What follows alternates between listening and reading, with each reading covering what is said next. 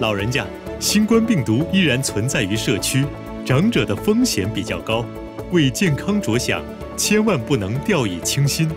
科学数据显示长者只要身体情况稳定就可以安心接种新冠疫苗。家人应尽快带长者到指定普通科门诊诊所长者健康中心私家诊所或公立医院按时接种疫苗吧。